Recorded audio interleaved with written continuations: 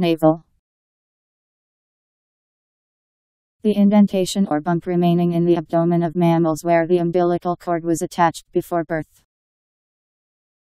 The central part or point of anything, the middle.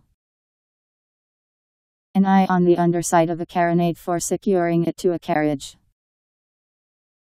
Navel synonyms, umbilicus.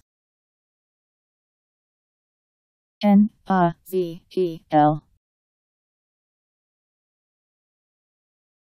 Navel.